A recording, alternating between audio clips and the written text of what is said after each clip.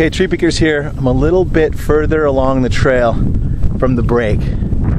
And uh, you can see here, see that creek going back up?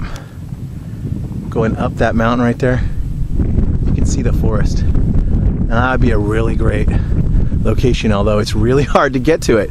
You see all that on the other side here? All that is pretty much impenetrable by man it's really gnarly. But it looks like if it's not too steep, I might be able to go along the shore. Or keep you posted. Actually, I think I'm just gonna ride along and shoot, not looking where I'm shooting, just shooting. Just in case someone's watching. You know who's watching. They're always watching.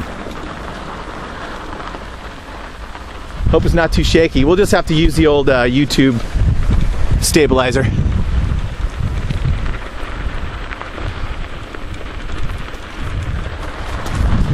This is where we are walking another side too. This exact spot.